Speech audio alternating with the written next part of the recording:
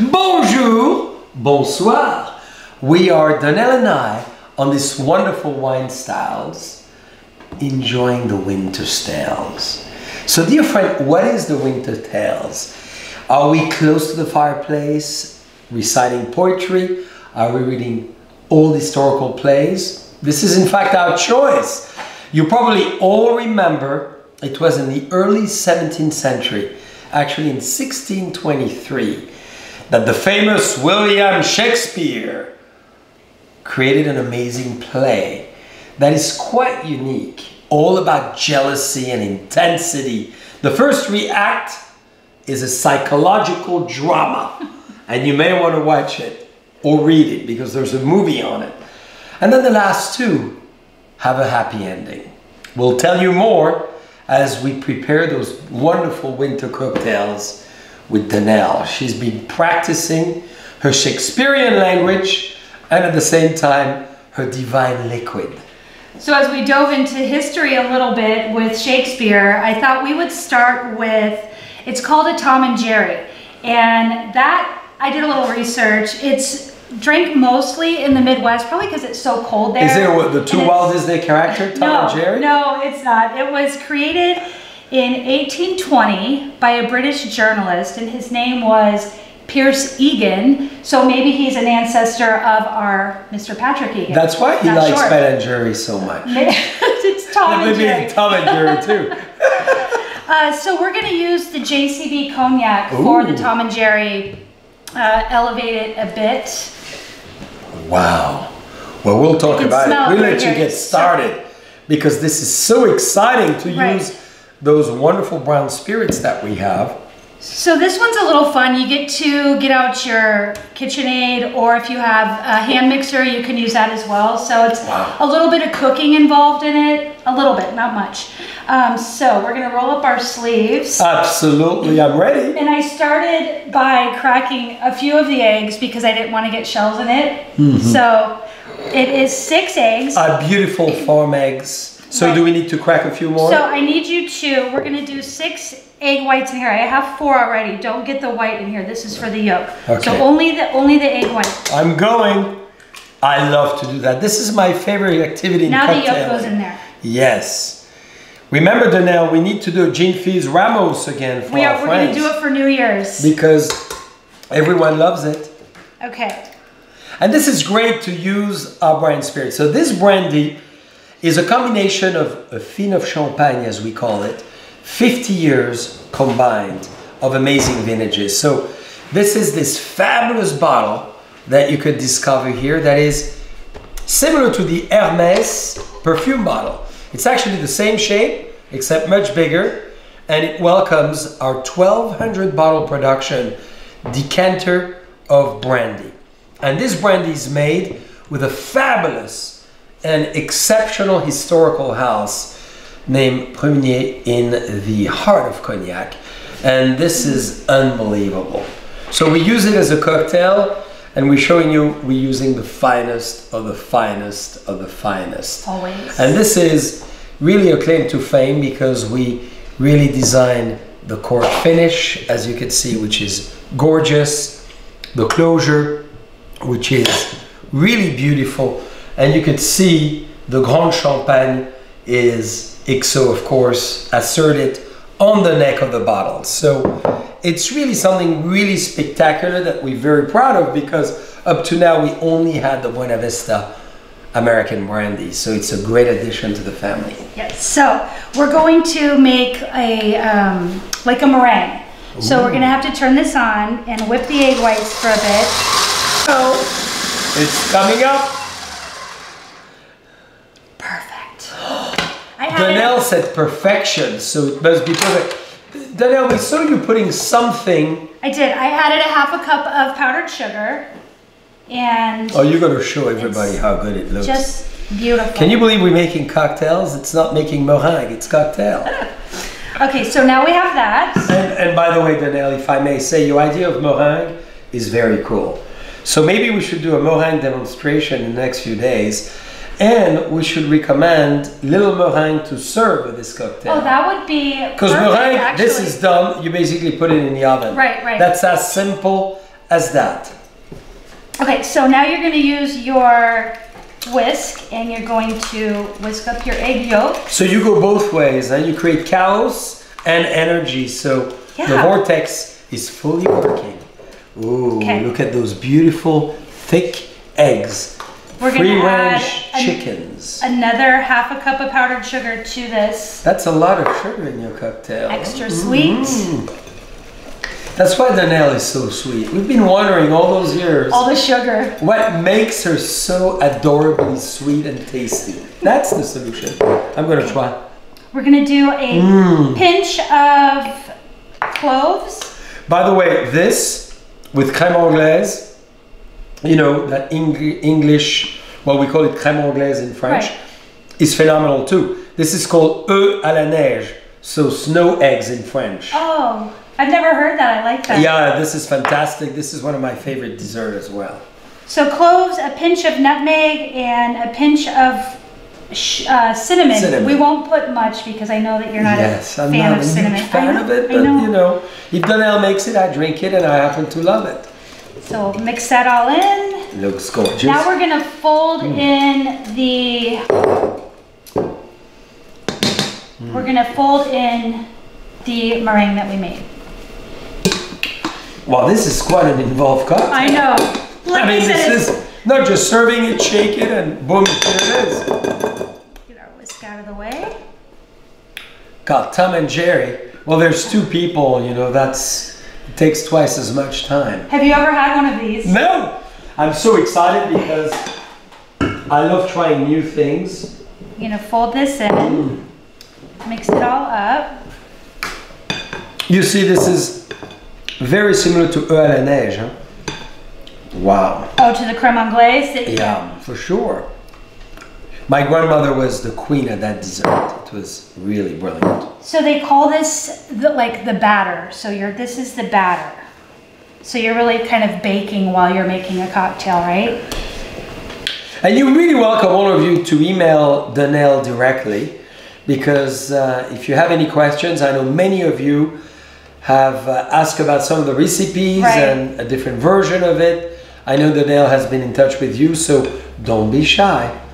Danielle is very excited to perfect a cocktail if you have suggestions too. Yes, always. Uh, two teaspoons of the Madagascar vanilla, Yeah. and you're gonna fold that in, and that's your batter. Wow. Do you want to try it to make sure it's to your taste? Yeah. How does that work? It's delicious. Mmm. Nutmeg, cinnamon, Yep. Okay. and, and certainly, you know, the sugar. Wow. Okay. So I've been warming some milk on the stove. Now, Ooh. we're gonna add. I like mine a little stronger. Yes. So we're gonna do two, I can ounces, only imagine. two ounces of cognac. This is going to be very Shakespearean. We're gonna do a big heaping spoonful, maybe even a little more, of the batter. Make it extra Danielle is all about excess, as we know. And then we're gonna add in the hot milk. Mmm. Wow. God, who doesn't want that in their stomach? A little Sprinkle cinnamon. with a little nutmeg. No, Nutmeg, nutmeg. No cinnamon for you. Thank you. Thank you. little nutmeg on top. And there is your Tom and Jerry. Wow. If you don't like it so creamy with all the milk, you can always do maybe half the amount of milk and half the amount of hot water to water it down a bit. But I like mine. What, what about the test? Are we going to try? You're gonna try. Oh. We might have to stir it up a little bit. Mmm. I think the cognac with warm milk mm-hmm. and then the melting yolk and egg whites together. Yeah. Wow, the combination is insane. Mmm. No, I could sing. Oh, it seems like I feel like Botticelli or maybe Pavarotti. So this Impressive, Is, huh? this is for a That's happy thanks to the ending. cocktail. This is for a happy ending from A Winter's Tale. Oh, that's One right. happy ending. So whatever happened to the king and his wife supposedly cheating on him? What what happened? Well, there's a happy ending, dear friends. You're going to have to read the play. We cannot divulge Shakespeare as quickly as that, but it's a fun play, and this is what Winter Tales is all about. Right. So then, that's exciting. Delicious. Okay, so now we're gonna do the ultimate happy ending, and you get to play with this with your hands. So, what is a double happy ending? the best ever. So you'll see, you're gonna feel this. Makes me feel like to the. Playboy Penthouse TV show. Ooh la la! So we'll move some of this out of I'm gonna way. have another sip of this.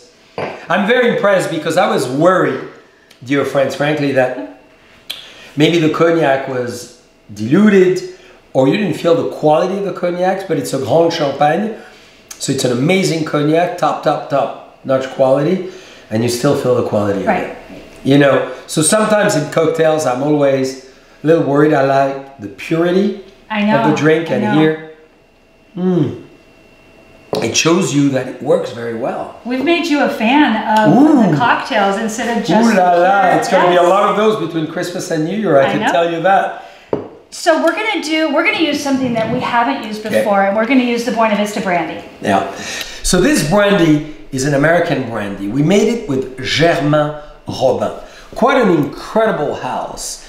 And this is in honor of the Count of Buena Vista, dear friends. In honor because in the champagne cellar on the top floor were aged brandy barrels. And I'm going back to 1860, 1861, 62.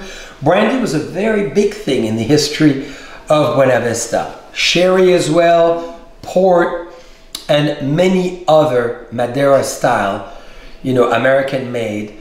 But brandy was really the pinnacle of it. So we decided to launch the brandy again. And as you can see, that beautiful bottle and package is stunning. It's doing very well. It's available at the tasting room. So you're really welcome to give us a call and we can obviously accommodate you with this amazing drink. Perfect, I believe, to compare it slightly with the cognac. Mm. Very different techniques, very aromatic as well, beautifully oak aged. And the persons who started Germain Robin originally came from the Cognac region, so they really know what they were doing. Love that. I'm excited to use it today for the Yeah. first time. Uh, so we're gonna dive into some more sugar for some more Aha, sweetness. I could see that. There's tons. Ooh la la. So that's dark brown sugar, and we're gonna put all of that in there. It's two and. All of it? All of it. All of it. Donnell, are we, So we're are we going to cocktail batter. for an We're- army? Yes, th- we're making another batter. This one is really great because I'm going to you make it here. and then you put it in a container, lid on it, put it in the refrigerator, and you can use it for a couple of weeks. So whenever you want to have a cocktail, you'll see Mm. exactly what I'm talking about. So we're gonna do uh, one stick of unsalted butter, softened. So we're gonna just do this so with our hands. So this is again pastry pastry yeah, cooking. Yes. That's impressive. I'm gonna use a pinch of salt. Good. Use one and a half teaspoons of cinnamon. I like this idea. So it's a cocktail you make, and you could keep it for two weeks Yeah. in the fridge. Yes. So basically, you know, this is. You just need the hot is- water and brandy. You just pull the batter out and make it really Oh, I love and- this idea. Yeah. Because this is pretty involved, at every cocktail, if we had to do that, this takes quite some time. Right. Well, it's it's the holidays. I think people have time in the evening, and so uh, half a teaspoon of nutmeg, which we love to use, and a pinch of allspice. A little bit more. Okay. Okay. So now I'm going to use my hands so that I don't have to turn the mixer on again. It's like when I was a kid. And we my like mom, to see My those- mom used to have me mix up the meatloaf, and I used to love. I would jump in the kitchen, and you had the meat and the eggs and, And we like to see those beautiful red fingernails So- of Donnell massaging. You're just All gonna- of you who are dreaming of Donnell, now just imagine her giving you a little back massage. She's very good at it from what I've heard. You know, a lot of people talk to me about Donnell's back massage, so I could see Right. why. There's a lot of strength in that, you know. So uh, just mix it all. Make sure that the butter is all evenly distributed into the brown sugar. Which I love with your cocktail choices. It's like baking, really. It is. We It are is. baking together. Well, you know that's my favorite is to eat desserts. So Mm-hmm. it's probably why I love sweet cocktails so much. So you're gonna mix all this up yeah. Looks really good. good. It'll start making a little bit of a. You'll see it. Yeah. Okay, so then you're going to you'll put it in a pat it down, cover it up, put it in the fridge, Okay. and you refrigerate it. I see. Okay, So, so we're gonna put that aside. and you did it, though. I did it already. I have some that's already refrigerated. So that looks like this. Yeah, I broke it up a little bit so it's nice and cold.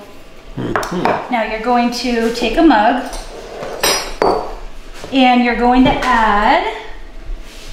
I like my, I'm not gonna make it too sweet because I'm gonna have you try it. I know you're not a huge sugar fan. Well, I'm developing a big sweet tooth because of Donnell. So maybe about a tablespoon. And then you're going to add hot water. Okay. How So- much? Do you want me to pour it for Oh you? no, it's hot. So I'm gonna put it in here. So we're just gonna put a little bit in there for the start to get that to melt. Mm-hmm. Stir that up. You're It's a very delicate process. Huh? You're You gonna all about your- accurate measurements. always with cocktails always. You're gonna put your two ounces of the brandy, and then fill the rest with the water. So you're lowering the alcohol level of the brandy. Huh? A little bit. There's there's a lot of brandy in there, Okay. and that's that's it. Wow. It's a very it's it seems this is really like a complex. grog. Yeah. You what know the grog, so we have that in the winter in Europe in order to feel warm Right. or to get a very nice, um, you know, released throat as well. Oh well, this you could use this for a sore throat as well. Wow, beautiful. And the allspice, beautiful aroma. Mmm. I could drink that all day long. Not too sweet. No. It seems Well, like you know, it would. sweetness It is seems like it would be so sweet with all of that brown sugar, but I think it's really really nice. You know what I'm thinking too? What? What about if we put it in the fridge and had it cold? I've never had it cold, but Could be interesting. I mean, warm, cold, just Right. like tea. right. Makes Oh, me think of an infusion with the oh, spice right. and the sugar, and what a great preparation. So, what's the name of this one? This is well, it's a hot buttered brandy. So it's a hot buttered batter, and then you can you can use cognac, you can use brandy, you can use rum, you can use whiskey, you can hmm. use any any dark liquor. But I love the Buena Vista brandy in it. Yeah. Yeah. Well, dear friends, what an amazing time, Donnell. We need to have a toast. Cheers Today, happiness, and happy endings. winter tales, to Shakespeare, to the fire, to tales and stories. Take the time, dear friends, to slow down. Yes. This is not only a unique year, a reflective year, a year we need to celebrate for being here and to start soon a new one. So take your time to think about not only your resolution, but appreciation of life.